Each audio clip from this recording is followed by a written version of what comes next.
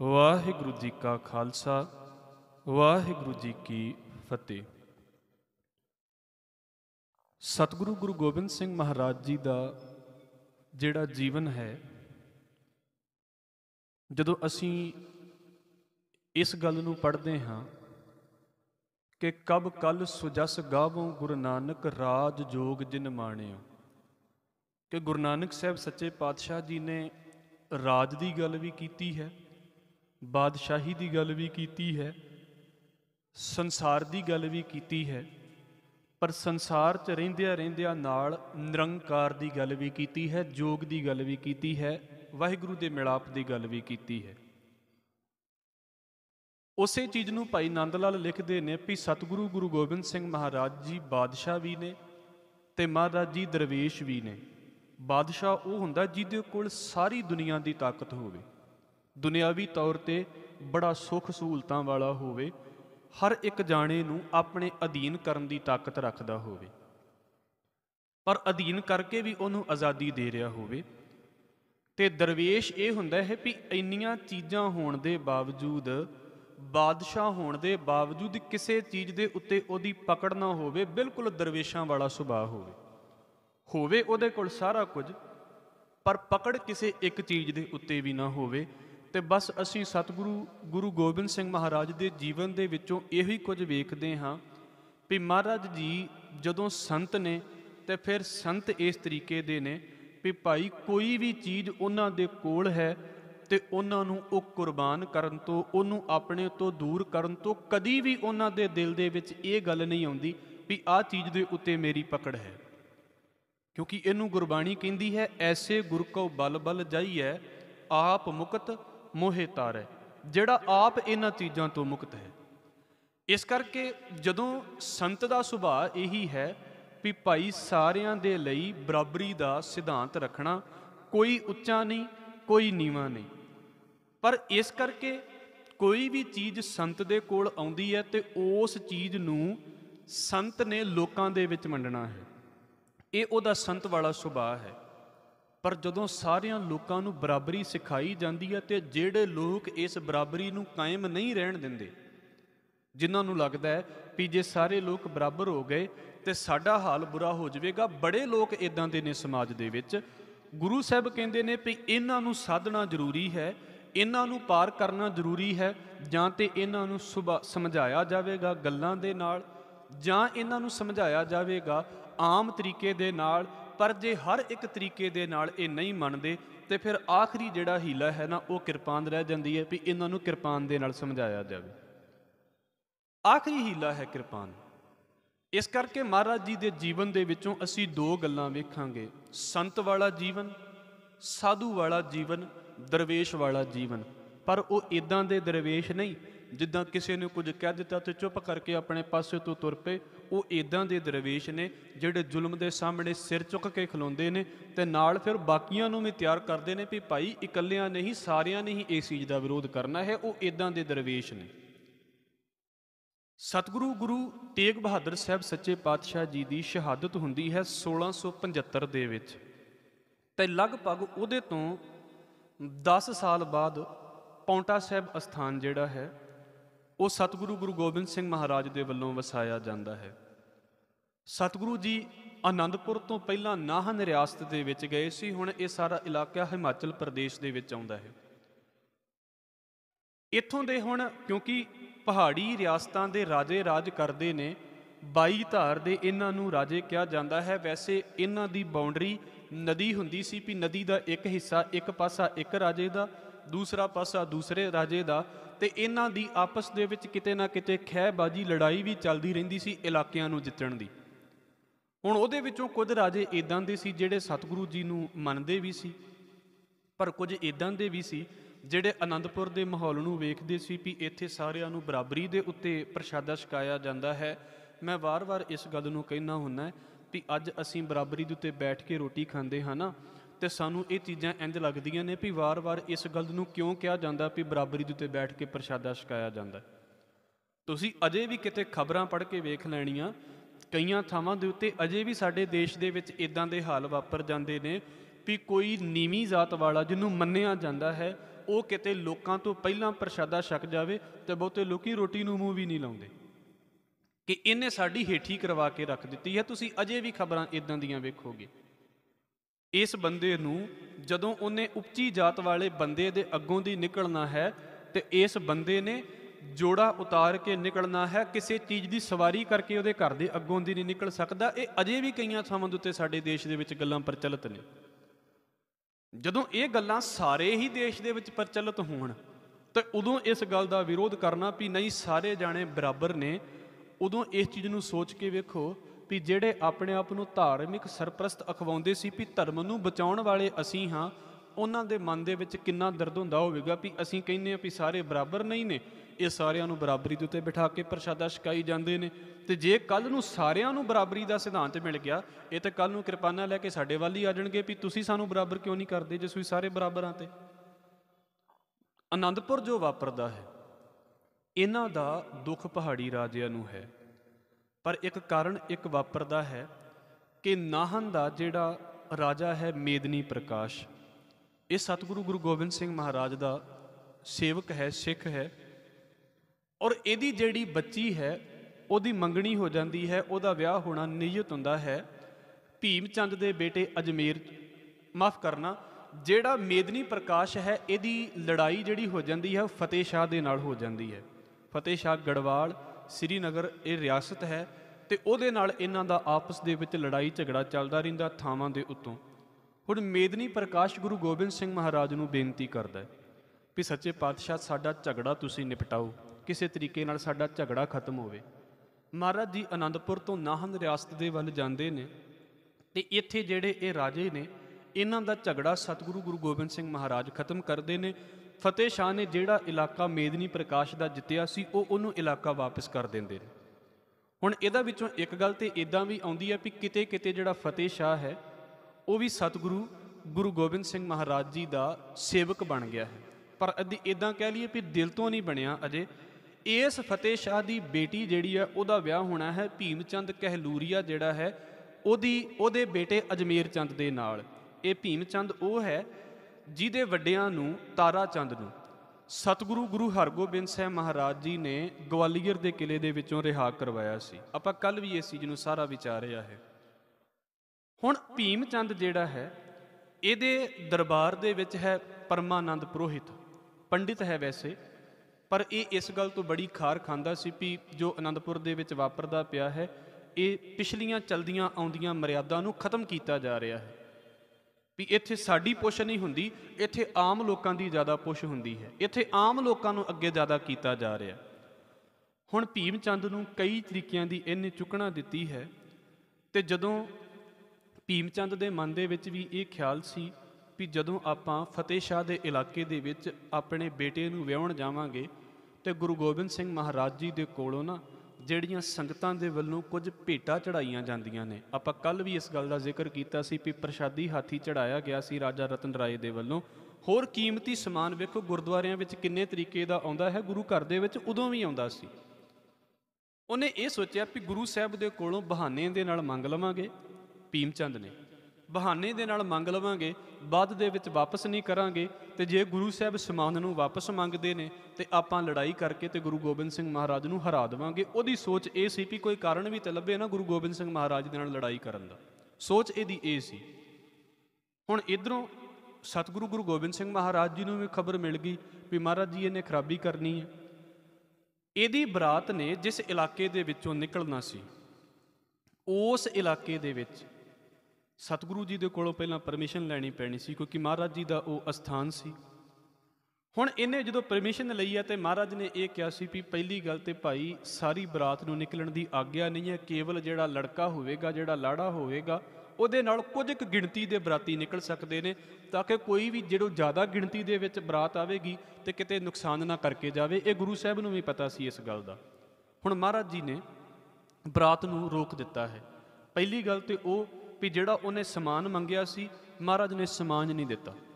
ਮੈਂ ਇਸ ਕਰਕੇ ਇਹ ਗੱਲ ਆਪ ਜੀ ਦੇ ਅੱਗੇ ਰੱਖ ਦੇਵਾਂ, ਕਿਉਂਕਿ ਇਹ ਇਦਾਂ ਨਾ ਸਮਝ ਲੈਣਾ ਵੀ ਅਸੀਂ ਸਾਰਾ ਕਿਤੇ ਡਿਟੇਲ ਜੀਵਨ ਕਰਦੇ ਪਏ ਹਾਂ, ਕੁਝ ਕੁ ਘਟਨਾਵਾਂ ਨੇ।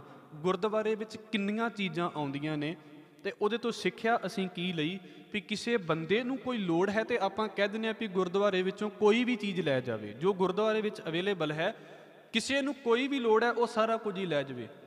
ਤੇ ਜਿਹੜਾ ਬੰਦਾ ਸਿਰਫ ਗੁਰਦੁਆਰਿਆਂ ਦੀਆਂ ਚੀਜ਼ਾਂ ਦੇ ਉੱਤੇ ਆਪਣਾ ਹੱਕ ਜਮਾਉਣਾ ਚਾਹੁੰਦਾ ਹੈ ਜਾਂ ਫੋਕੀ ਟੌਰ ਜਮਾਉਣਾ ਚਾਹੁੰਦਾ ਹੈ ਤੇ ਜਾਂ ਫਿਰ ਇਹ ਕਹਿੰਦਾ ਹੈ ਵੀ ਮੈਂ ਗੁਰਦੁਆਰੇ ਦੀਆਂ ਚੀਜ਼ਾਂ ਮੋੜਨੀਆਂ ਹੀ ਨਹੀਂ ਨੇ, ਫਿਰ ਉਹਦੇ ਲਈ ਸਿੱਖਾਂ ਨੇ ਇਹ ਪ੍ਰਬੰਧ ਵੀ ਕੀਤਾ ਵੀ ਭਾਈ ਇਹਨੂੰ ਚੀਜ਼ਾਂ ਨਾਮ ਹੀ ਦਿੱਤੀਆਂ ਜਾਣ। ਇਹ ਸਾਡੇ ਇਤਿਹਾਸ ਦੇ ਵਿੱਚ ਇਸ ਗੱਲ ਦਾ ਜ਼ਿਕਰ ਹੈ। ਨਾ ਕਿਸੇ ਨੂੰ ਨਹੀਂ ਹੈ। ਕੋਈ ਵੀ ਇਸ ਘਰ ਦੇ ਵਿੱਚੋਂ ਨਾਰਾਜ਼ ਹੋ ਕੇ ਖਾਲੀ ਹੋ ਕੇ ਨਹੀਂ ਜਾਵੇਗਾ। ਪਰ ਜਿਹਨੂੰ ਇਹ ਲੱਗਦਾ ਹੈ ਵੀ ਗੁਰਦੁਆਰੇ ਦੀਆਂ ਚੀਜ਼ਾਂ ਕੀਮਤੀ ਨੇ ਤੇ ਮੈਂ ਆਪਣੇ ਘਰ ਦੇ ਵਿੱਚ ਹੀ ਵਰਤੀ ਜਾਵਾਂ ਤੇ ਬਾਅਦ ਦੇ ਵਿੱਚ ਵਾਪਸ ਵੀ ਨਾ ਕਰਾਂ। ਜੇ ਵਾਪਸ ਕਰਨਗੇ, ਵਾਪਸ ਮੰਗਣਗੇ ਤੇ ਮੈਂ ਲੜਾਈ ਕਰਾਂ। ਉਹਦੇ ਲਈ ਫਿਰ ਸਤਿਗੁਰੂ ਜੀ ਨੇ ਸਾਡੇ ਸਾਹਮਣੇ ਇਹ ਵਿਧਾਨ ਰੱਖ ਦਿੱਤਾ ਵੀ ਭਾਈ, ਪਹਿਲਾਂ ਵਸਤ ਪਛਾਣ ਕੇ ਤੇ ਫਿਰ ਜਿਹੜਾ ਹੈ ਤਾਂ ਕੀਚੈ ਵਪਾਰ। ਪਹਿਲਾਂ ਵਸਤ ਸਿਆਣ ਕੇ ਤਾਂ ਕੀਚੈ ਵਪਾਰ। ਜਿਹਨੂੰ ਗੁਰੂ ਨਾਨਕ ਸਾਹਿਬ ਮਹਾਰਾਜ ਕਹਿੰਦੇ ਪਹਿਲਾਂ ਸਮਝੋ ਵੀ ਕਿਹੜਾ ਬੰਦਾ ਕਿਵੇਂ ਦਾ ਹੈ, ਕਿਹਦੇ ਨਾਲ ਕਿਵੇਂ ਵਰਤਣਾ ਹੈ। ਇਸ ਕਰਕੇ ਫਿਰ ਉਸ ਗੱਲ ਨੂੰ ਦੁਹਰਾ ਰਿਹਾ ਹਾਂ ਕਿ ਸੰਗਤ ਜਿਹੜੀ ਹੈ, ਹਰ ਇੱਕ ਚੀਜ਼ ਸੰਗਤ ਦੇ ਵੱਲੋਂ ਤੇ ਸੰਗਤ ਦੇ ਲਈ ਹੀ ਹੈ। ਪਰ ਜਿਹੜਾ ਬੰਦਾ ਗੁਰਦੁਆਰੇ ਦੀਆਂ ਚੀਜ਼ਾਂ ਦਾ ਨੁਕਸਾਨ ਕਰਦਾ ਹੈ, ਸੰਗਤ ਦੇ ਸਮਾਨ ਦਾ ਨੁਕਸਾਨ ਕਰਦਾ ਹੈ ਜਾਂ ਉਹਦੇ ਉੱਤੇ ਮੱਲ ਮਾਰ ਕੇ ਬੈਠ ਜਾਂਦਾ ਹੈ, ਉਹਦੇ ਲਈ ਫਿਰ ਰੋਕ ਦਿੱਤਾ ਜਾਂਦਾ ਵੀ ਨਹੀਂ, ਸਮਾਨ ਉਹਦੇ ਲਈ ਨਹੀਂ ਹੈ। ਹੁਣ ਮਹਾਰਾਜ ਜੀ ਨੇ ਇਹਨੇ ਮੰਗਿਆ ਸੀ ਜਿਹੜਾ ਕਾਬਲ ਦੀ ਸੰਗਤ ਦੇ ਵੱਲੋਂ ਕੀਮਤੀ ਸਮਾਨ ਆਇਆ ਹੋਇਆ ਸੀ, ਪੋਸ਼ਾਕੇ ਆਏ ਹੋਏ ਸੀ ਜਾਂ ਹੋਰ ਇੰਨੇ ਪ੍ਰਸਾਦੀ ਹੱਥੀ, ਕਿਉਂਕਿ ਜਿਨ੍ਹਾਂ ਦੇ ਜਿਹੜੇ ਵੱਡੇ ਹੁੰਦੇ, ਉਹਨਾਂ ਨੂੰ ਵਿਖਾਵਾ ਬੜਾ ਕਰਨਾ ਪੈਂਦਾ ਮਹਾਰਾਜ ਜੀ ਨੇ ਸਮਾਨ ਦੇਣ ਤੋਂ ਮਨਾ ਕਰ ਦਿੱਤਾ ਸੀ, ਇਹਨੂੰ ਗੁੱਸਾ ਸੀ ਇਸ ਗੱਲ ਦਾ। ਔਰ ਇਸੇ ਕਰਕੇ ਚਾਹੁੰਦਾ ਸੀ ਵੀ ਬਰਾਤ ਨਿਕਲੇਗੀ ਜਦੋਂ ਤੇ ਇਸ ਵੇਲੇ ਅਸੀਂ ਕੀ ਕਰਾਂਗੇ ਵੀ ਸ਼ਹਿਰ ਨੂੰ ਉਜਾੜ ਦੇਵਾਂਗੇ, ਪੌਂਟਾ ਸਾਹਿਬ ਨੂੰ ਉਜਾੜ ਦੇਵਾਂਗੇ। ਹਾਲਾਂਕਿ ਨਵਾਂ ਸ਼ਹਿਰ ਵਸਿਆ, ਗਿਣਤੀ ਵੀ ਬਹੁਤੀ ਨਹੀਂ ਸੀ। ਹੁਣ ਉਸ ਵੇਲੇ ਜਦੋਂ ਇੱਕ ਹਾਲਾਤ ਵਾਪਰਦੇ ਨੇ, ਅਜੇ ਉਹਦੇ ਵਿੱਚੋਂ ਵੀ ਇਸ ਗੱਲ ਨੂੰ ਮੁੱਖ ਰੱਖਦੇ ਹੋਏ ਵੀ ਚਲੋ ਬੱਚੇ ਦਾ ਵਿਆਹ ਹੈ, ਇਹ ਭੀਮ ਚੰਦ ਕੁਝ ਸਮੇਂ ਲਈ ਚੁੱਪ ਕਰ ਜਾਂਦਾ ਹੈ। ਫਤਿਹ ਸ਼ਾਹ, ਪਹਿਲੀ ਗੱਲ ਤੇ ਇਹ ਹੈ ਕਿ ਗੁਰੂ ਸਾਹਿਬ ਦੇ ਨਾਲ ਤੇ ਸੀ, ਪਰ ਬਾਅਦ ਦੇ ਵਿੱਚ ਇਹਨੂੰ ਆਪਣੀ ਬੱਚੀ ਦੀ ਮਜਬੂਰੀ ਦੇ ਕਰਕੇ ਇਹਨੂੰ ਜਿਹੜਾ ਹੈ, ਉਹ ਭੀਮ ਚੰਦ ਹੋਣਾ ਦੇ ਨਾਲ ਰਲਣਾ ਪਿਆ ਗਿਆ। ਉਹਦੇ ਤੋਂ ਪਹਿਲਾਂ ਇੱਕ ਦੋ ਗੱਲਾਂ ਜਿਹੜੀਆਂ ਨੇ ਪੌਂਟਾ ਸਾਹਿਬ ਦੇ ਅਸਥਾਨ ਤੇ ਵਾਪਰਦੀਆਂ ਨੇ, ਅਸੀਂ ਉਹਦਾ ਜ਼ਿਕਰ ਕਰ ਲਈਏ। ਪੰਘਾਣੀ ਜਿਹੜਾ ਹੈ, ਉਸ ਅਸਥਾਨ ਤੇ ਮਹਾਰਾਜ ਜੀ ਦਾ ਯੁੱਧ ਹੋਇਆ ਹੈ, ਅਸੀਂ ਉਹਨੂੰ ਫਿਰ ਵਿਚਾਰਨ ਦੀ ਕੋਸ਼ਿਸ਼ ਕਰਾਂਗੇ। ਪੌਂਟਾ ਸਾਹਿਬ ਦੇ ਅਸਥਾਨ ਦੇ ਉੱਤੇ ਸਤਿਗੁਰੂ ਗੁਰੂ ਗੋਬਿੰਦ ਸਿੰਘ ਮਹਾਰਾਜ ਨੂੰ ਬਾਬਾ ਰਾਮ ਰਾਏ ਜੀ ਮਿਲਦੇ ਨੇ। ਆਪਾਂ ਇਤਿਹਾਸ ਦੇ ਵਿੱਚੋਂ ਇੱਕ ਗੱਲ ਨੂੰ ਸੁਣਿਆ ਹੋਵੇਗਾ ਵੀ ਬਾਬਾ ਰਾਮ ਰਾਏ ਨੂੰ ਗੁਰੂ ਹਰਿਰਾਏ ਸਾਹਿਬ ਮਹਾਰਾਜ ਜੀ ਨੇ ਇਸ ਗੱਲ ਕਰਕੇ ਘਰ ਤੋਂ ਪਰੇ ਕਰ ਦਿੱਤਾ ਸੀ ਵੀ ਉਹਨਾਂ ਨੇ ਗੁਰਬਾਣੀ ਦੀ ਇੱਕ ਪੰਕਤੀ ਬਦਲ ਦਿੱਤੀ ਸੀ। ਜਿਹਨੂੰ ਅਸੀਂ ਪੜ੍ਹਦੇ ਹਾਂ ਨਾ, ਮਿੱਟੀ ਮੁਸਲਮਾਨ ਕੀ ਪੇੜਾ ਪਈ ਕੁਮਿਆਰ ਘੜ ਭਾਂਡੇ ਇੱਟਾਂ ਕੀਆਂ ਜਲਦੀ ਕਰੇ ਪੁਕਾਰ। ਉਸ ਪੰਕਤੀ ਨੂੰ ਬਾਬਾ ਰਾਮ ਰਾਏ ਜੀ ਨੇ ਬਦਲਤਾ ਤੇ ਗੁਰੂ ਹਰ ਰਾਏ ਸਾਹਿਬ ਸੱਚੇ ਪਾਤਸ਼ਾਹ ਜੀ ਦੇ ਕੋਲ ਸ਼ਿਕਾਇਤ ਆਉਂਦੀ ਹੈ ਤੇ ਮਹਾਰਾਜ ਜੀ ਕਹਿੰਦੇ ਨੇ ਵੀ ਇਹਨਾਂ ਦੇ ਨਾਲ ਸਾਡਾ ਕੋਈ ਸਬੰਧ ਨਹੀਂ ਹੈ। ਹੁਣ ਮਸੰਦ ਪ੍ਰਥਾ ਜਿਹੜੀ ਹੈ, ਜਿਹਦੇ ਬਾਰੇ ਅਸੀਂ ਥੋੜਾ ਜਿਹਾ ਕੱਲ ਜ਼ਿਕਰ ਕੀਤਾ ਸੀ। ਇਹਨਾਂ ਦਾ ਕੰਮ ਤੇ ਇਹ ਸੀ ਵੀ ਸੰਗਤ ਦੇ ਵੱਲੋਂ ਭੇਟਾ ਲੈ ਕੇ ਆਉਣੀ ਤੇ ਸੰਗਤ ਦੇ ਵਿੱਚ ਹੀ ਜਾ ਕੇ ਪ੍ਰਚਾਰ ਕਰਨਾ। ਇਸੇ ਤਰ੍ਹਾਂ ਜਿੱਦਾਂ ਗੁਰੂ ਘਰ ਦਾ ਸਿਸਟਮ ਚਲਾਉਣ ਦੇ ਲਈ ਮਸੰਦ ਸੀ ਨਾ, ਜਦੋਂ ਰਾਮ ਰਾਏ ਗੁਰੂ ਘਰ ਦੇ ਨਾਲੋਂ ਵੱਖ ਹੋਏ ਨੇ ਉਦੋਂ ਇਹਨਾਂ ਦੇ ਵੀ ਮਸੰਦ ਆਪਣੇ ਨੇ, ਇਹਨਾਂ ਦੇ ਵੀ ਪ੍ਰਚਾਰਕ ਆਪਣੇ ਨੇ, ਜਿਹੜੇ ਲੋਕਾਂ ਦੇ ਵਿੱਚ ਇਸ ਗੱਲ ਨੂੰ ਬਣਾਉਣਾ ਚਾਹੁੰਦੇ ਸੀ ਵੀ ਨਹੀਂ, ਰਾਮ ਰਾਏ ਜਿਹੜਾ ਹੈ ਉਹ ਵੀ ਗੁਰੂ ਦਾ ਪੁੱਤਰ ਹੋਣ ਦੇ ਨਾਤੇ ਸੰਗਤਾਂ ਦੀ ਭੇਟਾ ਰੱਖ ਸਕਦਾ ਹੈ। ਇਹਨੂੰ ਵੈਸੇ ਔਰੰਗਜ਼ੇਬ ਦੇ ਵੱਲੋਂ ਵੀ ਇਲਾਕਾ ਮਿਲਿਆ ਸੀ, ਗੜਵਾਲ ਦੇ ਵੱਲੋਂ ਵੀ ਇਲਾਕਾ ਮਿਲਿਆ ਹੋਇਆ ਸੀ ਤੇ ਮਸੰਦ ਇਹਦਾ ਪ੍ਰਬੰਧ ਚਲਾਉਂਦੇ ਸਨ। ਪਰ ਗੁਰੂ ਹਰ ਰਾਏ ਸਾਹਿਬ ਮਹਾਰਾਜ ਜੀ ਤੋਂ ਲੈ ਕੇ 1661 ਤੋਂ ਲੈ ਕੇ ਤੇ ਇਹ ਲਗਭਗ ਜਦੋਂ ਅਸੀਂ 1685 ਦੇ ਸਮੇਂ ਦੀ ਗੱਲ ਕਰਦੇ ਪਏ ਹਾਂ, ਇਹ 20 25 ਸਾਲ ਦਾ ਸਮਾਂ ਆ ਜਾਂਦਾ ਜਿਹੜੇ ਰਾਮ ਰਾਏ ਦੇ ਮਸੰਦ ਸੀ, ਉਹੀ ਇਹਨੂੰ ਤੰਗ ਕਰਨ ਲੱਗ ਪਏ ਸੀ। ਜਾਂ ਇਦਾਂ ਕਹਿ ਲਈਏ ਵੀ ਰਾਮ ਰਾਏ ਜਿਹੜਾ ਸੀ, ਉਹਦੇ ਮਨ ਦੇ ਵਿੱਚ ਤੇ ਇਸ ਗੱਲ ਦਾ ਪਛਤਾਵਾ ਕਿਤੇ ਹੈ ਸੀ ਵੀ ਮੇਰੇ ਕੋਲੋਂ ਗਲਤੀ ਹੋਈ ਹੈ, ਪਰ ਉਹਦੇ ਜਿਹੜੇ ਮਸੰਦ ਸੀ, ਉਹਨਾਂ ਨੇ ਇੰਨੀ ਜ਼ਿਆਦਾ ਅਤ ਕਰ ਦਿੱਤੀ ਸੀ ਵੀ ਉਹ ਰਾਮ ਰਾਏ ਦੀ ਨਹੀਂ ਵੀ ਸੀ ਸੁਣਦੇ, ਉਹ ਰਾਮ ਰਾਏ ਦੀ ਵੀ ਨਹੀਂ ਸੀ ਸੁਣਦੇ। ਹੁਣ ਸਤਿਗੁਰੂ ਗੁਰੂ ਗੋਬਿੰਦ ਸਿੰਘ ਮਹਾਰਾਜ ਜੀ ਦੇ ਬਾਰੇ ਜਦੋਂ ਇਹਨੂੰ ਪਤਾ ਲੱਗਾ ਕਿ ਜਿਹੜਾ ਸਤਿਗੁਰੂ ਗੁਰੂ ਗੋਬਿੰਦ ਸਿੰਘ ਮਹਾਰਾਜ ਜੀ ਨੇ ਉਹ ਇੱਥੇ ਨਾਹਨ ਦੇ ਵਿੱਚ, ਪੌਂਟਾ ਸਾਹਿਬ ਦੇ ਵਿੱਚ ਪਹੁੰਚੇ ਹੋਏ ਨੇ ਤੇ ਉਹਨਾਂ ਨੇ ਫਿਰ ਸਤਿਗੁਰੂ ਗੁਰੂ ਗੋਬਿੰਦ ਸਿੰਘ ਮਹਾਰਾਜ ਨੂੰ ਮਿਲਣ ਦੀ ਇੱਛਾ ਜ਼ਾਹਰ ਕੀਤੀ।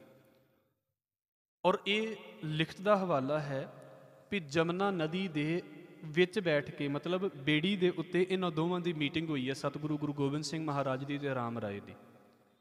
ਔਰ ਇਹਦਾ ਇੱਕ ਕਾਰਨ ਇਹ ਵੀ ਮੰਨਿਆ ਜਾਂਦਾ ਹੈ ਵੀ ਸ਼ਾਇਦ ਬਾਬਾ ਰਾਮ ਰਾਏ ਜੀ ਸਤਿਗੁਰੂ ਗੁਰੂ ਗੋਬਿੰਦ ਸਿੰਘ ਮਹਾਰਾਜ ਨੂੰ ਇਹ ਦੱਸਣਾ ਚਾਹੁੰਦੇ ਸਨ ਵੀ ਮਸੰਦ ਕਿੱਦਾਂ ਤੰਗ ਕਰਦੇ ਨੇ। ਭਾਵੇਂ ਕਿ ਉਹ ਸਾਡੇ ਮਸੰਦ ਨੇ, ਪਰ ਸਾਡੀ ਵੀ ਨਹੀਂ ਮੰਨਦੇ। ਹਾਲਾਂਕਿ ਗੁਰੂ ਗੋਬਿੰਦ ਸਿੰਘ ਮਹਾਰਾਜ ਨੂੰ ਮਸੰਦਾਂ ਦੇ ਬਾਰੇ ਇਧਰੋਂ ਵੀ ਖਬਰਾਂ ਆ ਰਹੀਆਂ ਸਨ। ਅਸੀਂ ਅੱਗੇ ਜਾ ਕੇ ਜ਼ਿਕਰ ਪੜਾਂਗੇ ਇਹਨਾਂ ਦਾ। ਇਧਰੋਂ ਵੀ ਖਬਰਾਂ ਆ ਰਹੀਆਂ ਸਨ। ਜੋ ਵੀ ਉਸ ਵੇਲੇ ਬਾਬਾ ਰਾਮ ਰਾਏ ਦਾ ਤੇ ਗੁਰੂ ਗੋਬਿੰਦ ਸਿੰਘ ਸੱਚੇ ਪਾਤਸ਼ਾਹ ਜੀ ਦਾ ਵਿਚਾਰ ਵਟਾਂਦਰਾ ਹੋਇਆ ਹੈ, ਉਹ ਇਹਨਾਂ ਦੀ ਮੀਟਿੰਗ ਹੁੰਦੀ ਹੈ। ਹੁਣ ਇੱਥੇ ਹੀ ਸਤਿਗੁਰੂ ਗੁਰੂ ਗੋਬਿੰਦ ਸਿੰਘ ਸੱਚੇ ਪਾਤਸ਼ਾਹ ਨੂੰ ਮਿਲਣ ਦੇ ਲਈ ਪੀਰ ਬੁੱਧੂ ਸ਼ਾਹ ਆਉਂਦੇ ਨੇ।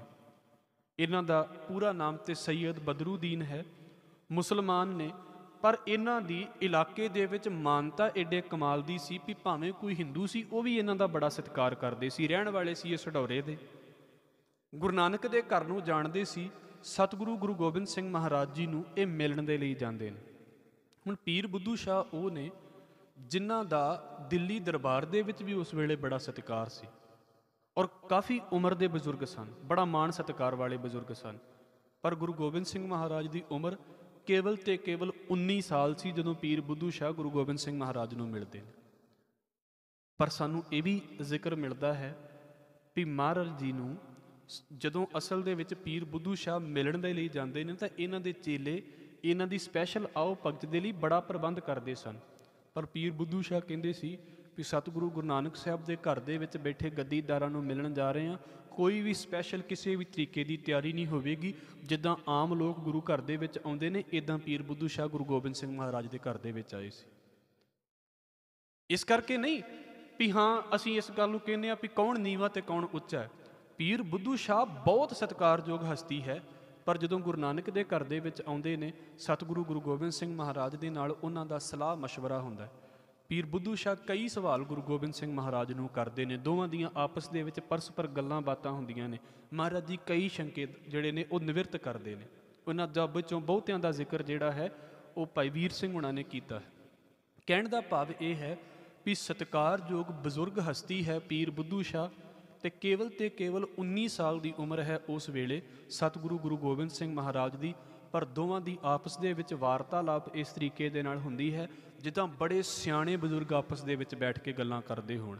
ਇੱਕ ਤੇ ਗੁਰੂ ਜੋਤ ਹੈ, ਉਹਦਾ ਸਤਿਕਾਰ ਹੈ ਦੂਸਰਾ ਸਤਿਗੁਰੂ ਦੀ ਅਜ਼ਮਤ ਵੀ ਸਿਰਫ ਕਿਉਂਕਿ ਜਦੋਂ ਅਸੀਂ ਗੁਰੂ ਗੋਬਿੰਦ ਸਿੰਘ ਮਹਾਰਾਜ ਦੀ ਜ਼ਿੰਦਗੀ ਨੂੰ ਵੇਖਦੇ ਹਾਂ ਨਾ, ਤਾਂ ਬਹੁਤਿਆਂ ਨੂੰ ਇੰਜ ਲੱਗਦਾ ਹੈ ਵੀ ਮਹਾਰਾਜ ਜੀ ਘੋੜੇ ਦੇ ਉੱਤੇ ਬੈਠੇ ਤੇ ਬਸ ਕਿਰਪਾਨ ਹੀ ਸਾਰੀ ਜ਼ਿੰਦਗੀ ਚਲਾਈ ਗਏ। ਨਹੀਂ ਭਾਈ, ਜਿਹੜਾ ਸੰਤ ਵਾਲੀ ਗੱਲ ਹੈ ਨਾ ਸਤਿਗੁਰੂ ਦੇ ਜੀਵਨ ਦੇ ਵਿੱਚ, ਉਹ ਵੀ ਬੜੇ ਕਮਾਲ ਦੀ ਹੈ। ਉਹਨਾਂ ਪਾਸਿਓਂ ਤੋਂ ਜੀਵਨ ਵਿੱਚ ਅਸੀਂ ਜਦੋਂ ਵੇਖਦੇ ਹਾਂ।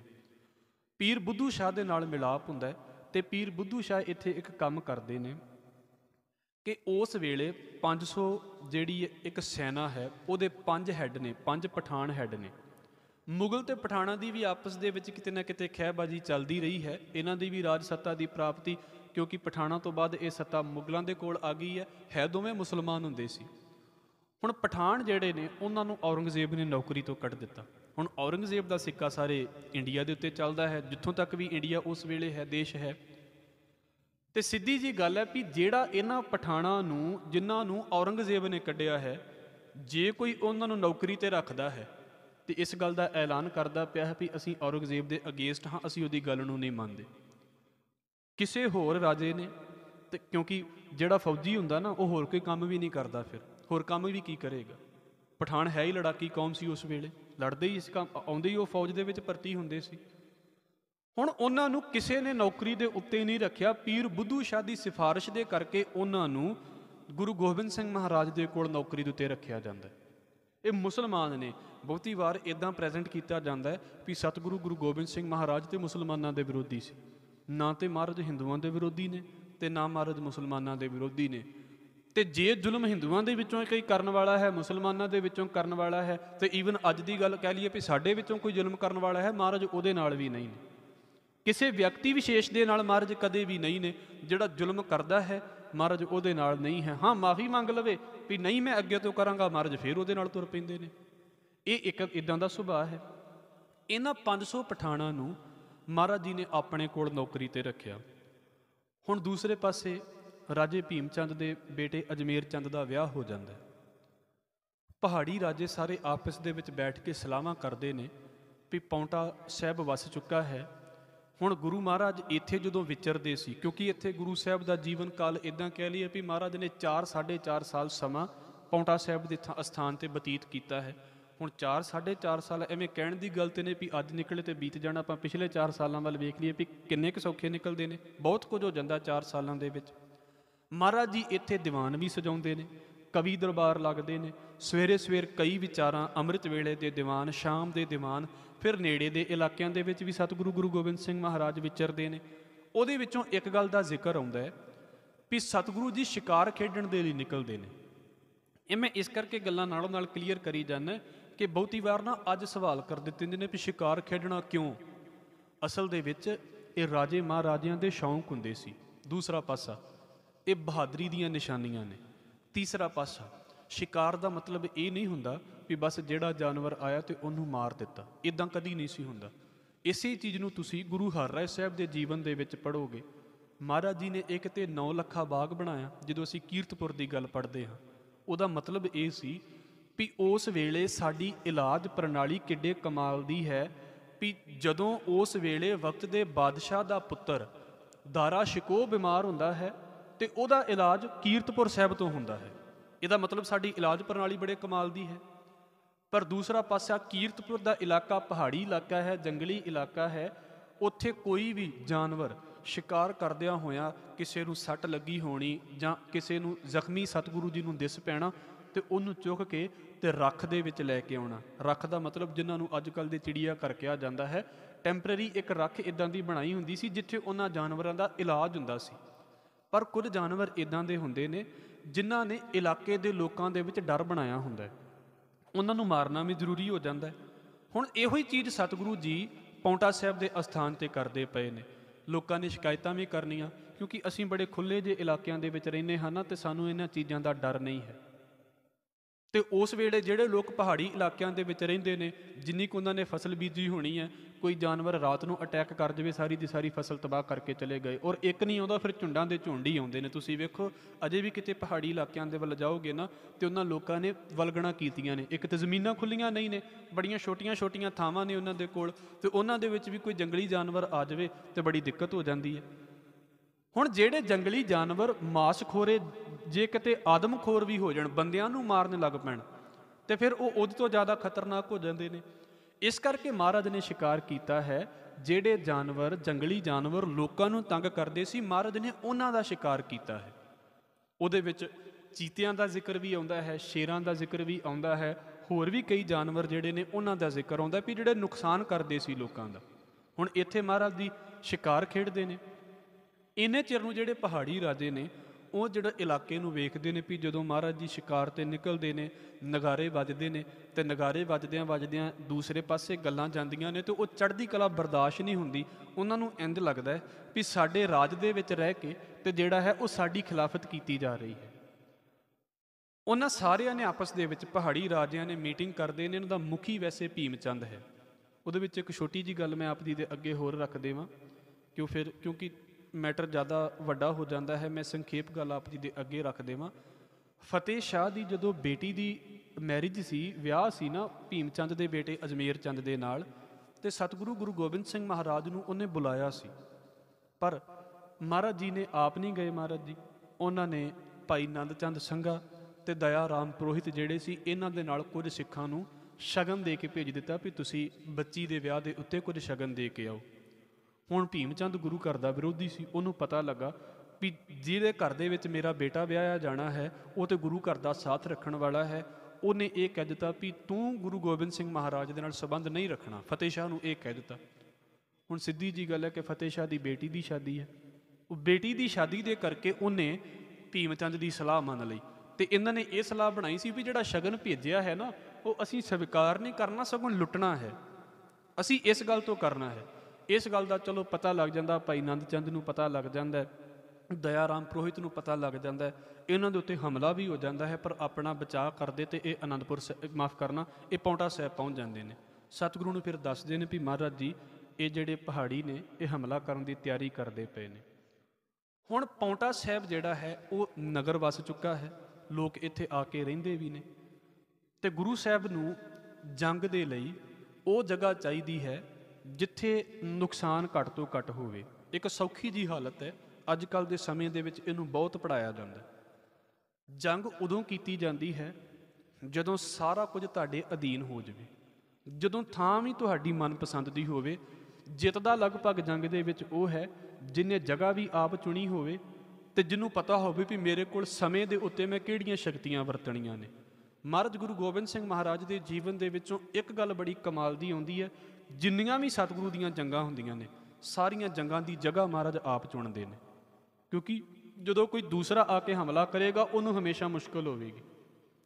ਹੁਣ ਉੱਥੇ ਪਹਾੜੀ ਰਾਜਿਆਂ ਨੇ ਤੇ ਇਸ ਗੱਲ ਦਾ ਵੀ ਵੈਸੇ ਹਵਾਲਾ ਆਉਂਦਾ ਹੈ ਵੀ ਮਹਾਰਾਜ ਜੀ ਦੇ ਕੋਲ ਇਸ ਗੱਲ ਦਾ ਇੱਕ ਚਿੱਠੀ ਵੀ ਲਿਖ ਕੇ ਭੇਜੀ ਹੈ ਵੀ ਤੁਸੀਂ ਇਲਾਕਾ ਖਾਲੀ ਕਰ ਦਿਓ।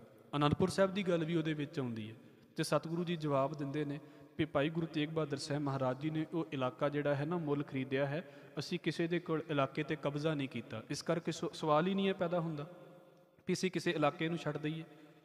ਫਿਰ ਉਹਦੇ ਵਿੱਚ ਗੱਲ ਵਾਪਰਦੀ ਹੈ ਵੀ ਹਾਲ ਬਣ ਜਾਂਦੇ ਵੀ ਜੰਗ ਹੋਵੇਗਾ ਹੀ ਹੋਵੇਗਾ। ਪੌਂਟਾ ਸਾਹਿਬ ਤੋਂ ਕੁਝ ਕ ਇਦਾਂ ਕਹਿ ਲਈਏ ਵੀ ਦੂਰੀ ਦੇ ਉੱਤੇ ਇਹ ਜਿਹੜਾ ਅਸਥਾਨ ਹੈ, ਪੰਘਾਣੀ ਦਾ ਅਸਥਾਨ ਹੈ। ਅੱਜ ਗੁਰਦੁਆਰਾ ਪੰਘਾਣੀ ਸਾਹਿਬ ਬਣਿਆ ਹੋਇਆ ਹੈ। ਉਸ ਅਸਥਾਨ ਦੇ ਉੱਤੇ ਜਮਨਾ ਨਦੀ ਦੇ ਕੰਢੇ ਦੇ ਉੱਤੇ ਇਹ ਗੁਰਦੁਆਰਾ ਹੈ। ਹੁਣ ਜਿਹੜੀ ਸੈਨਾ ਨੇ ਅਟੈਕ ਕਰਨਾ ਹੈ, ਉਹਨੂੰ ਪਹਿਲਾਂ ਨਦੀ ਪਾਰ ਕਰਨੀ ਹੈ। ਨਦੀ ਪਹਾ- ਪਾਰ ਕਰਕੇ ਤੇ ਫਿਰ ਉਹਨੂੰ ਇੱਕ ਪਹਾੜੀ ਚੋਟੀ ਪਾਰ ਕਰਨੀ ਪੈਣੀ ਹੈ ਤੇ ਫਿਰ ਅੱਗੇ ਜਾ ਕੇ ਮੁਕਾਬਲਾ ਕਰਨਾ ਹੈ। ਇਸ ਕਰਕੇ ਮਹਾਰਾਜ ਜੀ ਨੇ ਉਹ ਅਸਥਾਨ ਚੁਣਿਆ ਸੀ।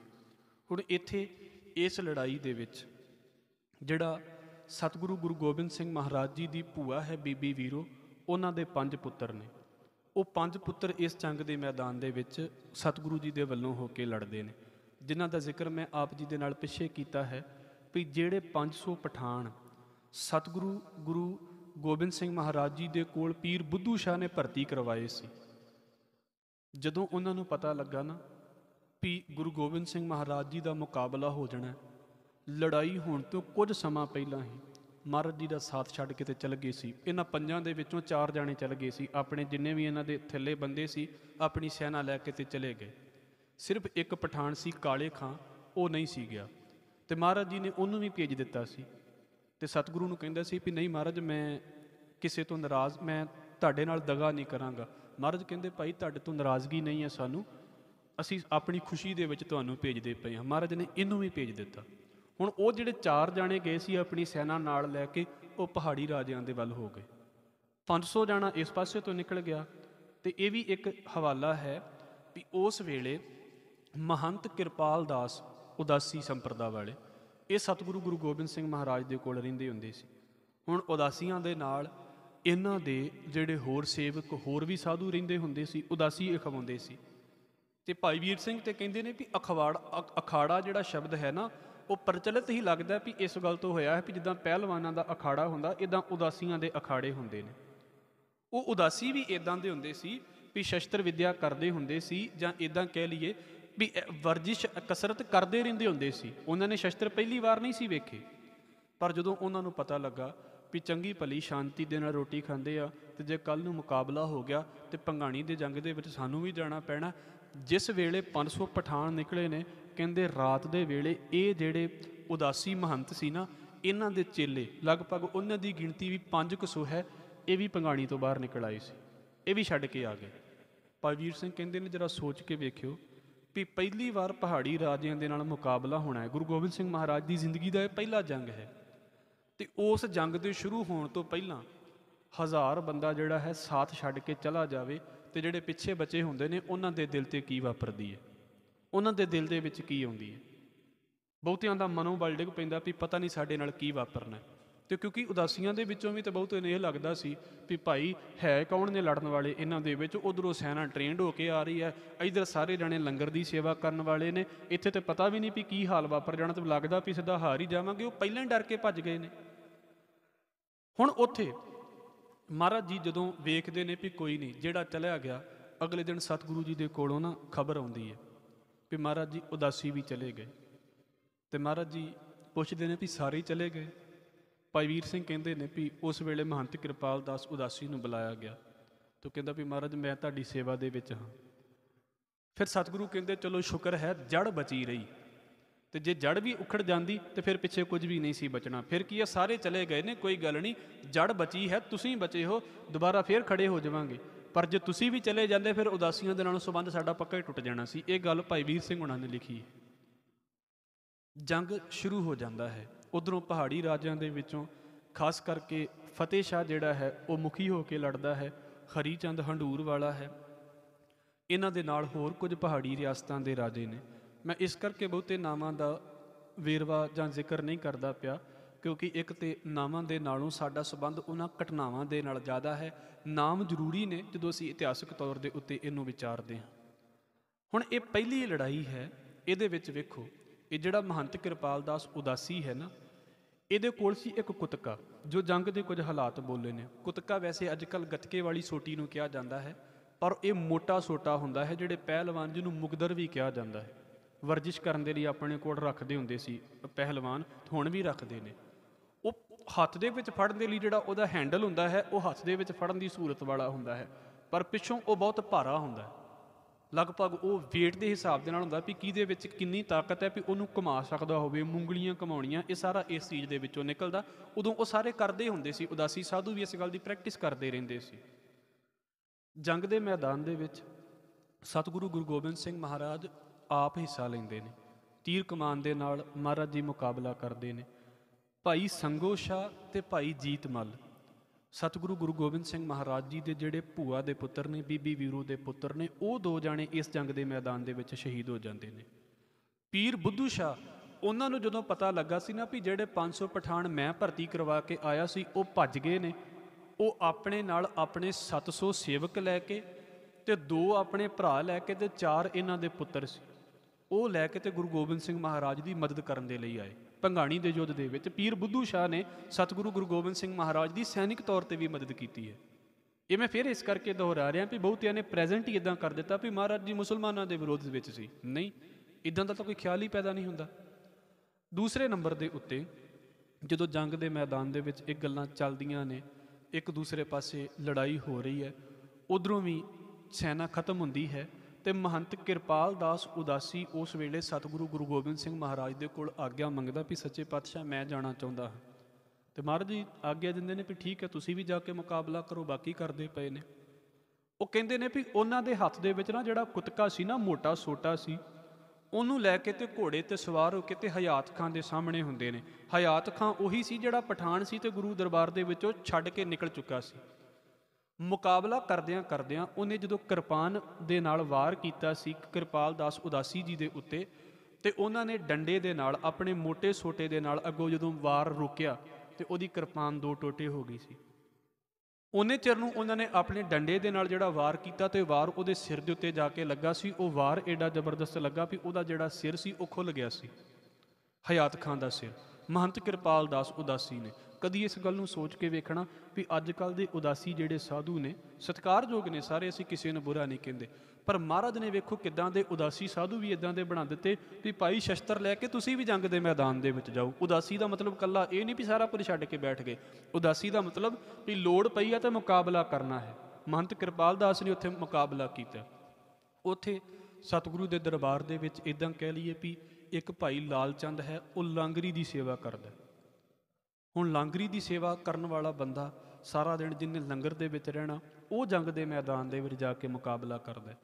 ਲਾਲ ਚੰਦ ਇੱਕ ਸਤਿਗੁਰੂ ਦੇ ਦਰਬਾਰ ਦੇ ਵਿੱਚ ਇਦਾਂ ਕਹਿ ਲਈਏ ਵੀ ਉਹਦਾ ਨਾਮ ਹੈ, ਉਹ ਮੱਝਾਂ ਚਾਰਨ ਦੀ ਸੇਵਾ ਕਰਦਾ ਹੈ ਜਾਂ ਆਪਣੇ ਇਲਾਕੇ ਦੇ ਵਿੱਚ ਮੱਝਾਂ ਚਾਰਦਾ ਹੋਵੇਗਾ ਹੁਣ ਇੱਕ ਪਾਸੇ ਪੂਰੀ ਟ੍ਰੇਨਡ ਹੋਈ ਸੈਨਾ ਆ ਰਹੀ ਹੈ, ਦੂਜੇ ਪਾਸੇ ਆਮ ਜੇ ਉੱਠੇ ਲੋਕ ਨੇ, ਜਿਨ੍ਹਾਂ ਦੇ ਵਿੱਚੋਂ ਇਸ ਗੱਲ ਦਾ ਯਕੀਨ ਵੀ ਨਹੀਂ ਸੀ ਵੀ ਇਹਨਾਂ ਨੇ ਜਿੱਤ ਜਾਣਾ ਕਿ ਨਹੀਂ ਜਿੱਤ ਜਾਣਾ। ਇਹ ਸਾਰੇ ਹੀ ਆਪਣੇ ਲਈ ਉੱਥੇ ਲੜਦੇ ਨੇ ਵੀ ਅਸੀਂ ਆਪਣੇ ਲਈ ਲੜਦੇ ਪਏ ਅਸੀਂ ਕਿਸੇ ਹੋਰ ਲਈ ਨਹੀਂ ਲੜਦੇ ਪਏ। ਇਹੋ ਜਿਹੇ ਬੰਦੇ ਜੰਗ ਦੇ ਮੈਦਾਨ ਦੇ ਵਿੱਚ ਹਿੱਸਾ ਲੈਂਦੇ ਨੇ।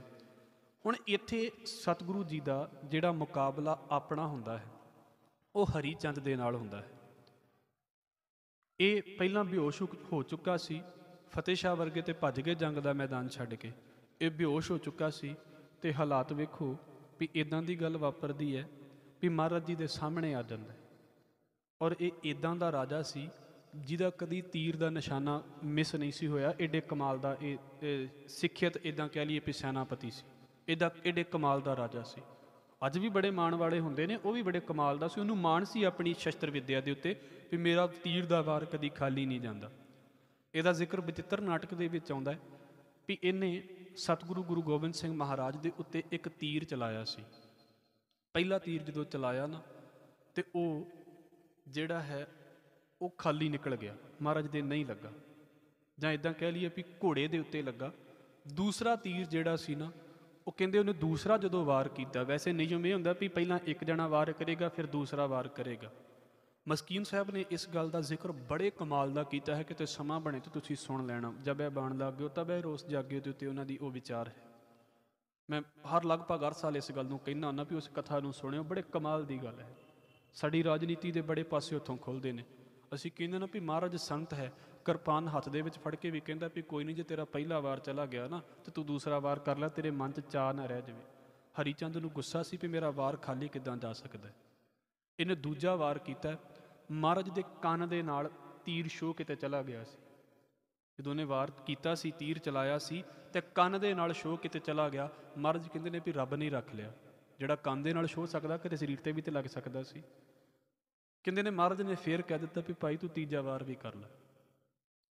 ਤੇ ਉਹ ਜਦੋਂ ਤੀਜਾ ਵਾਰ ਕਰਦਾ ਹੈ ਨਾ, ਤੇ ਜਿਹੜਾ ਕਮਰ ਕੱਸਾ ਲਗਾਇਆ ਹੁੰਦਾ ਜਦੋਂ ਤੁਸੀਂ ਵੇਖੋਗੇ ਕਮਰ ਨੂੰ ਕੱਸ ਕੇ ਤੇ ਜਿਹਦੇ ਨਾਲ ਕੱਪੜਾ ਬੰਨਿਆ ਜਾਂਦਾ ਹੈ, ਕਮਰ ਕੱਸਾ ਕਹਿੰਦੇ ਨੇ, ਵੈਸੇ ਅੰਦਰ ਤੋਂ ਚਮੜੇ ਦੇ ਨਾਲ ਵੀ ਬੰਨਿਆ ਹੁੰਦਾ, ਬੈਲਟ ਦਾ ਕੰਮ ਕਰਦਾ ਹੈ ਜਿਹੜਾ ਅੱਜ। ਉਹ ਕੀ ਹੁੰਦਾ ਹੈ ਕਿ ਉਹਨੇ ਬੜੇ ਜ਼ੋਰ ਦੇ ਨਾਲ ਜਦੋਂ ਤੀਰ ਖਿੱਚ ਕੇ ਲਾਇਆ ਸੀ ਨਾ, ਤੇ ਉਹ ਕਮਰ ਕੱਸੇ ਦੇ ਉੱਤੇ ਜਾ ਕੇ ਤੀਰ ਲੱਗ ਗਿਆ ਮਹਾਰਾਜ ਦੇ। ਤੀਸਰਾ ਨਿਸ਼ਾਨਾ ਉਹਦਾ ਲੱਗ ਗਿਆ ਹੈ ਮਹਾਰਾਜ ਦੇ ਉੱਤੇ। ਤੇ ਉਹ ਜਦੋਂ ਕਮਰ ਕੱਸੇ ਤੇ ਲੱਗਾ ਹੈ, ਤੇ ਕਮਰ ਕੱਸੇ ਨੂੰ ਚੀਰਦਾ ਹੋਇਆ ਇਦਾਂ ਕਹਿ ਲਈਏ ਵੀ ਉਹਦੇ ਤੀਰ ਦੀ ਨੋਕ ਦਾ ਕੁਝ ਕੁ ਹਿੱਸਾ ਮਹਾਰਾਜ ਜੀ ਦੇ ਸਰੀਰ ਦੇ ਉੱਤੇ ਜਾ ਕੇ ਲੱਗਾ। ਤੁਸੀਂ ਬਚਿੱਤਰ ਨਾਟਕ ਦੇ ਵਿੱਚ ਉਹਦਾ ਸਾਰਾ ਹਵਾਲਾ ਪੜ੍ਹ ਲਓਗੇ। ਹੁਣ ਜਦੋਂ ਤੀਰ ਦਾ ਨਿਸ਼ਾਨਾ ਲੱਗਾ ਹੈ ਤੇ ਮਹਾਰਾਜ ਕਹਿੰਦੇ ਨੇ ਵੀ ਨਿਸ਼ਾਨਾ ਤੇ ਲੱਗਾ ਹੈ, ਪਰ ਜ਼ਖਮ ਕੋਈ ਗਹਿਰਾ ਨਹੀਂ ਆਇਆ। ਕਿਉਂਕਿ ਬੈਲਟ ਸੀ ਕਮਰ ਕੱਸਾ ਬੈਲਟ ਸਮਝ ਲਈਏ, ਜ਼ਿਆਦਾ ਵਧੀਆ ਸਮਝ ਆਵੇਗਾ। ਤੁਸੀਂ ਅਜੇ ਵੀ ਜਦੋਂ ਪੰਜ ਪਿਆਰੇ ਤਿਆਰ ਹੁੰਦੇ ਨੇ ਨਾ ਕਮਰ ਕੱਸੇ ਲਗਾਏ ਜਾਂਦੇ ਨੇ। ਉਹ ਲਗਾਏ ਇਸ ਕਰਕੇ ਜਾਂਦੇ ਸੀ ਵੀ ਜਿਨ੍ਹਾਂ ਨੇ ਅਸਲ 'ਚ ਘੋੜ ਸਵਾਰੀ ਕਰਨੀ ਹੋਵੇ ਨਾ, ਤੇ ਉਹ ਹਿਲਜੁਲ ਬਹੁਤ ਹੁੰਦੀ ਹੈ। ਉਹ ਲੱਕ ਨੂੰ ਪ੍ਰੋਟੈਕਟ ਕਰਕੇ ਰੱਖਦਾ, ਕਮਰ ਨੂੰ ਪ੍ਰੋਟੈਕਟ ਕਰਕੇ ਰੱਖਦਾ ਦੂਸਰੇ ਨੰਬਰ ਦੇ ਉੱਤੇ ਜੇ ਉਹ ਚਮੜੇ ਦਾ ਹੈ ਤੇ ਕੋਈ ਅਟੈਕ ਕਰਦਾ ਹੈ ਤੇ ਉਹਦੇ ਅੰਦਰ ਜਿਹੜਾ ਹੈ, ਉਹ ਸ਼ਸਤਰ ਦਾ ਵਾਰ ਨਹੀਂ ਸੀ ਜਾਂਦਾ। ਦੂਰੋਂ ਇਹ ਇਸ ਕਰਕੇ ਹੁੰਦਾ ਸੀ। ਕੱਪੜੇ ਦੇ ਵੀ ਹੁੰਦੇ ਸਨ, ਅੰਦਰ ਚਮੜਾ ਵੀ ਉਹਨਾਂ ਦਾ ਕਿਤੇ ਕਿਤੇ ਲੱਗਾ ਹੁੰਦਾ ਸੀ। ਆਪਣੀ ਸਹੂਲਤ ਦੇ ਅਨੁਸਾਰ ਉਹ ਗੱਲਾਂ ਨੇ। ਉਹ ਤੀਰ ਦੀ ਇੱਕ ਨੋਕ ਜਿਹੜੀ ਹੈ ਨਾ, ਉਹ ਮਹਾਰਾਜ ਜੀ ਦੇ ਅੰਦਰ ਸਰੀਰ ਨੂੰ ਲੱਗੀ ਹੈ, ਪਰ ਡੂੰਘਾ ਜ਼ਖਮ ਨਹੀਂ ਆਇਆ। ਤੇ ਉੱਥੇ ਫਿਰ ਜਿਹੜਾ ਅਸੀਂ ਇੱਕ ਗੱਲ ਪੜ੍ਹਦੇ ਹਾਂ ਨਾ, ਵੀ ਜਬੈ ਬਾਣ ਲੱਗਿਓ, ਤਬੈ ਰੋਸ ਜਾਗਿਓ। ਮਹਾਰਾਜ ਜੀ ਨੇ ਕਿਹਾ ਵੀ ਤੂੰ ਦੋ ਵਾਰ ਕੀਤੇ, ਤੇਰੇ ਦੋ ਵਾਰ ਖਾਲੀ ਚਲੇ ਗਏ ਆ ਤੀਸਰਾ ਵਾਰ ਤੇਰਾ ਹੈ ਉਹ ਹੁਣ ਲੱਗ ਚੁੱਕਾ ਹੈ ਤੇ ਹੁਣ ਤੂੰ ਸਾਡਾ ਵਾਰ ਬਰਦਾਸ਼ਤ ਕਰਨ ਦੇ ਲਈ ਤਿਆਰ ਹੋ। ਮਹਾਰਾਜ ਨੇ ਇੱਕ ਤੀਰ ਬਖਸ਼ਿਆ ਸੀ। ਇੱਕ ਤੀਰ ਬਖਸ਼ਿਆ ਸੀ, ਪਹਿਲੇ ਤੀਰ ਦੇ ਨਾਲ ਹੀ ਹਰੀ ਚੰਦ ਪਾਰ ਹੋ ਗਿਆ ਸੀ। ਪਹਿਲੇ ਤੀਰ ਦੇ ਨਾਲ ਹੀ। ਹਰੀ ਚੰਦ ਇਹਨਾਂ ਦਾ ਮੇਨ ਸੀ ਜਦੋਂ ਫਤਿਹ ਸ਼ਾਹ ਹੋਣੀ ਤੇ ਪਹਿਲਾਂ ਭੱਜ ਗਏ ਸੀ। ਜਦੋਂ ਇਹ ਗੱਲ ਖਤਮ ਹੁੰਦੀ ਹੈ ਤੇ ਉਸ ਵੇਲੇ ਉਹ ਛੱਡ ਕੇ ਚਲੇ ਜਾਂਦੇ ਨੇ ਮੈਦਾਨ ਪਹਾੜੀ ਰਾਜੇ। ਹੁਣ ਇੱਥੋਂ ਇੱਕ ਚੀਜ਼ ਸਾਹਮਣੇ ਆਉਂਦੀ ਹੈ। ਲੋਕਾਂ ਨੂੰ, ਬਹੁਤਿਆਂ ਨੂੰ ਇਹ ਲੱਗਦਾ ਸੀ ਵੀ ਪਹਿਲੀ ਲੜਾਈ ਹੈ, ਪਤਾ ਨਹੀਂ ਜਿੱਤਣੀ ਵੀ ਹੈ ਕਿ ਨਹੀਂ। ਇਹਦਾ ਰਿਜ਼ਲਟ ਪਤਾ ਕਈ ਲੋਕ ਕੀ ਕੱਢਦੇ ਨੇ ਵੀ ਪਹਾੜੀ ਰਾਜਿਆਂ ਨੂੰ ਇੰਨੇ ਕੁ ਕੰਨ ਤੇ ਹੋ ਗਏ ਸੀ ਜੇ ਗੁਰੂ ਗੋਬਿੰਦ ਸਿੰਘ ਮਹਾਰਾਜ ਨੂੰ ਹਰਾਉਣਾ ਹੈ ਤੇ ਇਕੱਲੇ ਨਹੀਂ ਹਰਾ ਸਕਦੇ, ਔਰੰਗਜ਼ੇਬ ਦੀ ਮਦਦ ਲੈਣੀ ਪੈਣੀ ਹੈ ਸਾਨੂੰ। ਗੁਰੂ ਗੋਬਿੰਦ ਸਿੰਘ ਮਹਾਰਾਜ ਨਾਲ ਇਕੱਲੇ ਅਸੀਂ ਮੁਕਾਬਲਾ ਨਹੀਂ ਕਰ ਸਕਦੇ। ਪਰ ਸਤਿਗੁਰੂ ਦਾ ਸੁਭਾਅ ਵੇਖੋ, ਮੈਂ ਥੋੜਾ ਜਿਹਾ ਸੰਖੇਪ ਕਰਾਂ। ਮਹਾਰਾਜ ਜੀ, ਪੰਗਾਣੀ ਦਾ ਜੰਗ ਜਿੱਤ ਜਾਂਦੇ ਨੇ। ਪੀਰ ਬੁੱਧੂ ਸ਼ਾਹ ਦੇ ਦੋ ਪੁੱਤਰ ਸ਼ਹੀਦ ਹੋ ਜਾਂਦੇ ਨੇ। ਕੁਝ ਮਰੀਦ ਸ਼ਹੀਦ ਹੁੰਦੇ ਨੇ। ਤੇ ਜਦੋਂ ਜੰਗ ਦੇ ਮੈਦਾਨ ਤੋਂ ਅਗਲੇ ਦਿਨ ਜਾਂ ਕੁਝ ਦਿਨਾਂ ਬਾਅਦ ਮੀਟਿੰਗ ਹੁੰਦੀ ਹੈ ਨਾ ਵੀ ਆਪਾਂ ਆਮ ਬੈਠ ਕੇ ਗੱਲਾਂ ਕਰਦੇ ਆਂ ਵੀ ਕੀ ਰਿਜ਼ਲਟ ਨਿਕਲਿਆ ਸਾਡੇ ਵਿੱਚ। ਉਹ ਜਿਹੜੀ ਆਮ ਮੀਟਿੰਗ ਹੁੰਦੀ ਹੈ, ਉਹਦੇ ਵਿੱਚ ਇੱਕ ਗੱਲ ਆਉਂਦੀ ਹੈ ਵੀ ਪੀਰ ਬੁੱਧੂ ਸ਼ਾਹ ਸਤਿਗੁਰੂ ਗੁਰੂ ਗੋਬਿੰਦ ਸਿੰਘ ਮਹਾਰਾਜ ਦੇ ਕੋਲ ਵਿਦਾਇਗੀ ਲੈਣ ਦੇ ਲਈ ਆਉਂਦੇ ਨੇ। ਤੇ ਕਿਉਂਕਿ ਮੈਂ ਕਦੀ ਕਦੀ ਆਪ ਜੀ ਨੂੰ ਇਹ ਗੱਲ ਕਹਿੰਦਾ ਨਾ ਵੀ ਜਿੱਥੇ ਵੀ ਚੀਜ਼ ਸੁਣਨ ਦਾ ਮੌਕਾ ਮਿਲੇ ਸੁਣ ਲਿਓ। ਯਾਨੀ ਮਾਨ ਸਿੰਘ ਝੌਰ ਹੋਣਾ ਦਾ ਇੱਕ ਲੈਕਚਰ ਹੈ, ਉਹ ਇਸ ਪਾਸੇ ਦਾ ਹੈ। ਬੀਬੀ ਨਸੀਰਾਂ ਜਦੋਂ ਪੁੱਛਦੀ ਹੈ, ਪੀਰ ਬੁੱਧੂ ਸ਼ਾਹ ਨੂੰ ਵੀ ਤੁਸੀਂ ਜੰਗ ਦੇ ਮੈਦਾਨ ਦੇ ਵਿੱਚ ਗਏ ਸੀ ਤੇ ਤੁਹਾਨੂੰ ਕੀ ਮਿਲਿਆ? ਹਾਲਾਂਕਿ ਦੋ ਪੁੱਤਰ ਸ਼ਹੀਦ ਹੋ ਗਏ ਸੀ ਪੀਰ ਬੁੱਧੂ ਸ਼ਾਹ ਦੇ। ਬੜੇ ਕਮਾਲ ਦਾ ਉਹਨਾਂ ਨੇ ਇਸ ਗੱਲ ਨੂੰ ਬੋਲਿਆ ਹੈ ਤੇ ਉਹਦੇ ਵਿੱਚ ਕਹਿੰਦੇ ਨੇ ਕਿ ਜਦੋਂ ਸਤਿਗੁਰੂ ਗੁਰੂ ਗੋਬਿੰਦ ਸਿੰਘ ਮਹਾਰਾਜ ਦੇ ਕੋਲੋਂ ਵਿਦਾਇਗੀ ਲੈਣ ਆਉਂਦੇ ਨੇ ਪੀਰ ਬੁੱਧੂ ਸ਼ਾਹ, ਤੇ ਉਸ ਵੇਲੇ ਮਹਾਰਾਜ ਜੀ ਉਹਨਾਂ ਦੇ ਨਾਲ ਗੱਲਾਂ ਕਰਦੇ ਨੇ ਕਿ ਸਾਨੂੰ ਤੁਸੀਂ ਤੁਹਾਡੇ ਬੱਚਿਆਂ ਨੇ, ਤੁਹਾਡੇ ਮਰੀਦਾਂ ਨੇ ਜੰਗ ਦੇ ਮੈਦਾਨ ਦੇ ਵਿੱਚ ਬੜਾ ਮੁਕਾਬਲਾ ਕੀਤਾ ਹੈ। ਉਹਦੇ ਵਿੱਚ ਪੀਰ ਬੁੱਧੂ ਸ਼ਾਹ ਵੀ ਕਹਿੰਦੇ ਨੇ ਵੀ ਤੁਹਾਡੇ ਵੀ ਭੂਆ ਦੇ ਪੁੱਤਰ ਤੁਹਾਡੇ ਭਰਾ ਹੀ ਲੱਗਦੇ ਸੀ, ਭਾਈ ਜੀਤਮਲ ਤੇ ਭਾਈ ਸੰਗੋ ਸ਼ਾਹ, ਇਹ ਵੀ ਸ਼ਹੀਦ ਹੋਏ ਨੇ। ਹੋਰ ਸਿੱਖ ਵੀ ਜਿਹੜੇ ਸ਼ਹੀਦ ਹੋਏ ਨੇ, ਉਹਨਾਂ ਸਾਰਿਆਂ ਦੇ ਬਾਰੇ ਗੱਲਾਂ ਚੱਲਦੀਆਂ ਪਈਆਂ ਨੇ। ਤੇ ਕਹਿੰਦੇ ਮਹਾਰਾਜ ਨਾ ਉਸ ਵੇਲੇ ਕੰਗਾ ਕਰਦੇ ਪਏ ਸੀ ਕਿਸਾਂ ਨੂੰ। ਹੁਣ ਸਨਮਾਨ ਦੇ ਕੇ ਤੋਰਨਾ ਹੈ ਕਿਸੇ ਸੂਰਮੇ ਨੂੰ, ਸਾਡੇ ਘਰਾਂ ਦਾ ਇੱਕ ਨਿਯਮ ਹੈ ਨਾ ਵੀ ਕੋਈ ਘਰ ਦੇ ਵਿੱਚ ਰਿਸ਼ਤੇਦਾਰ ਆਇਆ ਹੋਵੇ ਤੇ ਜਦੋਂ ਤੋਰਿਆ ਜਾਂਦਾ ਹੈ, ਤੇ ਫਿਰ ਕਿੱਦਾਂ ਤੋਰਿਆ ਜਾਂਦਾ ਗੁਰੂ ਦਰਬਾਰ ਦੇ ਵਿੱਚੋਂ ਵੀ ਇਦਾਂ ਤੋਰਿਆ ਜਾਂਦਾ ਸੀ। ਇੱਕ ਤੋਂ ਨੇ ਮੁਕਾਬਲਾ ਕੀਤਾ ਸੀ। ਮਹਾਰਾਜ ਨੇ ਦਸਤਾਰ ਦਿੱਤੀ ਹੈ ਔਰ ਕਹਿੰਦੇ ਨੇ ਵੀ ਦਸਤਾਰ ਜਿਹੜੀਆਂ ਨਾ, ਉਹਦੇ ਦੋ ਟੁਕੜੇ ਕੀਤੇ ਸੀ। ਇੱਕ ਦਸਤਾਰ ਦਾ ਹਿੱਸਾ ਪੀਰ ਬੁੱਧੂ ਸ਼ਾਹ ਨੂੰ ਬਖਸ਼ਿਆ ਤੇ ਦੂਸਰਾ ਜਿਹੜਾ ਹੈ ਨਾ, ਦਸਤਾਰ ਦਾ ਟੁਕੜਾ, ਉਹ ਮਹੰਤ ਕਿਰਪਾਲ ਦਾਸ ਉਦਾਸੀ ਨੂੰ ਬਖਸ਼ਿਆ ਸੀ। ਇਹ ਉਹੀ ਮਹੰਤ ਕਿਰਪਾਲ ਦਾਸ ਉਦਾਸੀ ਹੈ, ਜਿਹਨੇ ਹਯਾਤ ਖਾਨ ਦਾ ਸਿਰ ਲਾਇਆ ਸੀ। ਜਿਹੜਾ ਉਹਦਾ ਸਿਰ ਫੇਆ ਸੀ, ਉਹਨੂੰ ਇੱਕ ਦਸਤਾਰ ਦਾ ਟੁਕੜਾ ਬਖਸ਼ਿਆ ਤੇ ਕਹਿੰਦੇ ਨੇ ਵੀ ਮਹਾਰਾਜ ਜੀ ਕੰਗਾ ਕਰਦੇ ਪਏ ਸੀ ਆਪਣੇ ਕਿਸਾਨ ਨੂੰ। ਤੇ ਪੀਰ ਬੁੱਧੂ ਸ਼ਾਹ ਨੇ ਮਹਾਰਾਜ ਦੇ ਕੋਲੋਂ ਗੱਲ ਮੰਗ ਲਈ ਵੀ ਮਹਾਰਾਜ ਜੇ ਤਰੁੱਠੇ ਜੇ ਤੇ ਆ ਜਿਹੜੇ ਕੰਗੇ ਦੇ ਵਿੱਚ ਤੁਹਾਡੇ ਕੇਸ ਫਸੇ ਹੋਏ ਨੇ ਨਾ, ਇਹ ਕੇਸਾਂ ਸਮੇਤ ਕੰਗਾ ਤੁਸੀਂ ਮੈਨੂੰ ਬਖਸ਼ਿਸ਼ ਕਰ ਦਿਓ। ਉਹਨੇ ਇਹ ਮੰਗਿਆ ਸੀ, ਪੀਰ ਬੁੱਧੂ ਸ਼ਾਹ ਨੇ। ਮਹਾਰਾਜ ਜੀ ਨੇ ਕੰਗਾ ਬਖਸ਼ ਦਿੱਤਾ, ਨਾਲ ਹੁਕਮਨਾਮਾ ਵੀ ਬਖਸ਼ਿਆ ਹੈ ਉਸ ਵੇਲੇ, ਨਾਲ ਇੱਕ ਕਟਾਰ ਵੀ, ਸ਼ਸਤਰ ਵੀ ਬਖਸ਼ਿਸ਼ ਕੀਤੇ ਨੇ ਤੇ ਪੀਰ ਬੁੱਧੂ ਸ਼ਾਹ ਨੂੰ ਸਤਿਗੁਰੂ ਗੁਰੂ ਗੋਬਿੰਦ ਸਿੰਘ ਮਹਾਰਾਜ ਨੇ ਵਿਦਾ ਕੀਤਾ ਹੈ। ਅੱਗੇ ਜਦੋਂ ਫਿਰ ਸਤਿਗੁਰੂ ਜੀ ਪੰਘਾਣੀ ਦੇ ਅਸਥਾਨ ਦੇ ਉੱਤੇ ਟਿਕਦੇ ਨੇ ਵੈਸੇ ਸਹਿਬਜ਼ਾਦਾ ਅਜੀਤ ਸਿੰਘ ਦਾ ਜਨਮ ਵੀ ਇਸ ਅਸਥਾਨ ਦੇ ਉੱਤੇ ਹੋਇਆ ਹੈ। ਔਰ ਇਸੇ ਹੀ ਜੰਗ ਦੀ ਜਿੱਤ ਨੂੰ ਮੁੱਖ ਰੱਖਦੇ ਹੋਏ ਬਾਬਾ ਅਜੀਤ ਸਿੰਘ ਦਾ ਨਾਮ ਸਹਿਬਜ਼ਾਦਾ ਅਜੀਤ ਸਿੰਘ ਜਿਹੜਾ ਸੀ ਉਹ ਰੱਖਿਆ ਗਿਆ ਸੀ। ਇਸ ਜਿੱਤ ਨੂੰ ਮੁੱਖ ਰੱਖਦੇ ਹੋਏ ਜੋ ਕੁਝ ਲਿਖਤਾਂ ਦੇ ਵਿੱਚ ਹਵਾਲਾ ਹੈ। ਫਿਰ ਅੱਗੇ ਮਹਾਰਾਜ ਜੀ ਪੌਂਟਾ ਸਾਹਿਬ ਦੇ ਅਸਥਾਨ ਦੇ ਉੱਤੇ ਵਾਪਸ ਆਨੰਦਪੁਰ ਸਾਹਿਬ ਆਉਂਦੇ ਨੇ। ਹੁਣ ਆਨੰਦਪੁਰ ਸਾਹਿਬ ਜਿਹੜਾ ਅਸਥਾਨ ਹੈ, ਕਿਉਂਕਿ ਸਤਿਗੁਰੂ ਨੂੰ ਗਿਆ ਹੋਇਆਂ ਨੂੰ ਲਗਭਗ 4 ਕੁ ਸਾਲ ਦਾ ਸਮਾਂ ਹੋ ਗਿਆ ਸੀ, ਜਦੋਂ ਸਤਿਗੁਰੂ ਜੀ ਵਾਪਸ ਆਨੰਦਪੁਰ ਆਉਂਦੇ ਨੇ। ਤੇ ਜਿੱਦਾਂ ਪਹਿਲਾਂ ਤਿਆਰੀਆਂ ਚੱਲਦੀਆਂ ਸੀ ਆਨੰਦਪੁਰ ਦੇ ਅੰਦਰ ਉਦਾਂ ਹੀ ਤਿਆਰੀਆਂ ਚੱਲਦੀਆਂ ਨੇ। ਤੇ ਇੱਥੇ ਜਿਹੜੇ ਕਿਲਿਆਂ ਦਾ ਕੰਮ ਰੁਕਿਆ ਹੋਇਆ ਸੀ, ਮਹਾਰਾਜ ਨੇ ਕਿਲਿਆਂ ਦਾ ਕੰਮ ਵੀ ਆਰੰਭ ਕਰ ਦਿੱਤਾ ਹੈ। ਤੇ ਇੱਕ ਚੀਜ਼ ਹੋਰ ਬੜੀ ਹੈਰਾਨੀ ਵਾਲੀ ਹੈ, ਜਿੱਥੋਂ ਸਾਨੂੰ ਇਹ ਗੱਲ ਸਮਝ ਆਵੇਗੀ ਕਿ ਵੇਖੋ, ਪੰਗਾਣੀ ਦਾ ਯੁੱਧ ਮਹਾਰਾਜ ਜੀ ਨੇ ਪਹਾੜੀ ਰਾਜਿਆਂ ਦੇ ਖਿਲਾਫ ਲੜਿਆ ਹੈ। ਪਰ ਜਦੋਂ ਨਦੌਣ ਦੇ ਜੰਗ ਦੀ ਗੱਲ ਆਉਂਦੀ ਹੈ, ਲਗਭਗ 1600 ਤੇ 91 ਦੀ ਇਹ ਗੱਲ ਆਉਂਦੀ ਹੈ। ਪੰਗਾਣੀ ਦੇ ਯੁੱਧ ਤੋਂ ਲਗਭਗ 3-4 ਸਾਲ ਬਾਅਦ ਦੀ ਗੱਲ। ਉਹਦੀ ਗੱਲ ਆਉਂਦੀ ਹੈ ਤੇ ਪਹਾੜੀ ਰਾਜੇ ਗੁਰੂ ਗੋਬਿੰਦ ਸਿੰਘ ਮਹਾਰਾਜ ਨੂੰ ਚਿੱਠੀ ਲਿਖ ਕੇ ਭੇਜਦੇ ਨੇ।